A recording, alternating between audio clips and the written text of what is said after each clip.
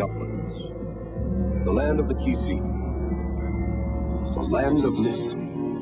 And a chance to see the operation of the skulls. This is a very ancient procedure. Trepanations were done in many parts of the world. Greece, Rome, into the Near East, Libya, Algeria, and as far south as Kenya. I don't know where the concept in Europe came from of releasing demons. That, that clearly is something in, in the Middle Ages that people have talked about as a, a reason for trephination. It is more likely to me that these were being done for some therapeutic reason that the patient kept coming back for them, and um, that they were done for reasons that we don't understand.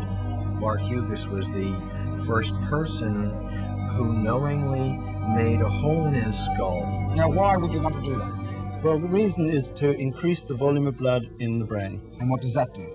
Well, it gives you more energy and a bit more consciousness. But you set a scale. You say, well, if an adult is zero and an acid is 100, and say smoking hash is 50 or 60, then trepanation is perhaps 30. Trepanation is an operation on the bone. This isn't a lobotomy.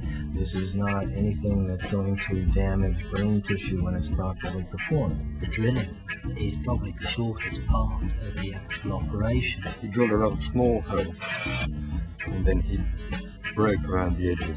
And actually you know the second drill through because then there's no resistance. Just finished in half an hour.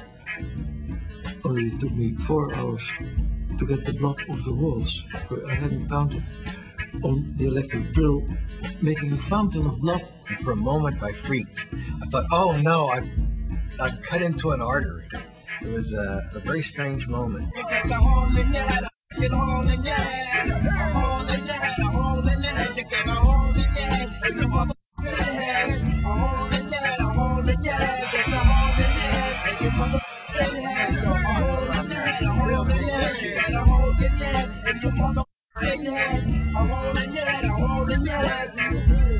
South Central and the West Side. This is hell, boy. I want it done. They might as well study on me. I'm a fairly normal person.